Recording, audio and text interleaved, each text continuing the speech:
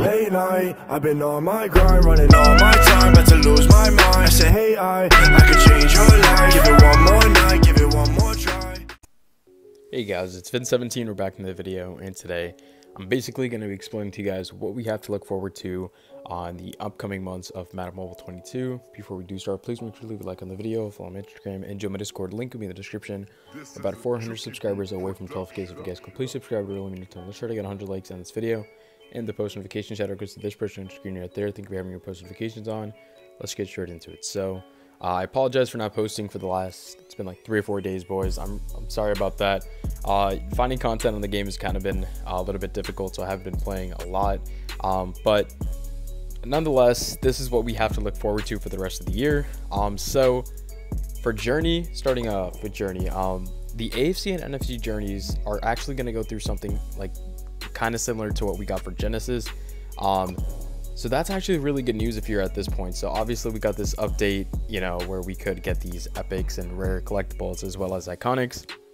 Uh, we're gonna get the same thing in uh, basically these journeys. Um, every single stage, uh, you know, at some point is gonna refresh uh, with these iconic, uh, epic, and rare uh, events, which you can earn these tokens. And then obviously with those tokens, you're going to be able to get iconics, epics, rares, and commons really, uh, you know, a lot easier. Obviously, a lot of people have gone through all their Genesis events and stuff like that, and are even progressing on the hard mode uh, and getting these as well. So that's awesome. Um, but obviously, it's going to be a lot easier, uh, you know, as the game progresses, especially with this new update that's going to come out hopefully soon. Uh, this is scheduled for like, uh, I think they said January, sometime then.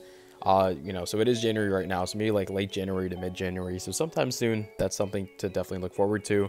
Um, as far as promos, uh, it's gonna probably be like this, like the same format as what we've seen, kind of, just with some different, uh, different things, I guess. Like New Year's, we had the firework events, we had like sparklers and stuff like that, but it's basically gonna follow the same kind of format. So we're gonna have, at least we're gonna have a Fourth of July, hopefully Easter um, and like simple promos like that, maybe even like a St. Patrick's promo or like Valentine's Day, something like that.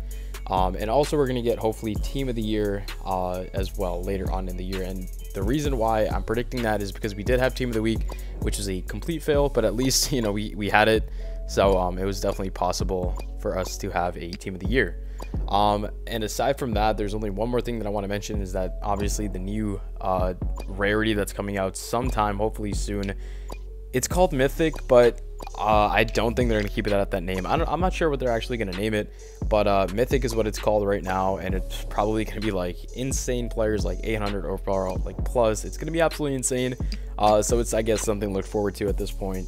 Field passes are obviously going to stay the same, so there's really nothing to delve into that. Um, that's pretty much going to be it, guys. Hopefully you did enjoy. If you have any video ideas, leave them in the comments down below. Uh, and that's pretty much going to be it, guys. Thank you so much for watching. I'll see you in the next one, and peace out.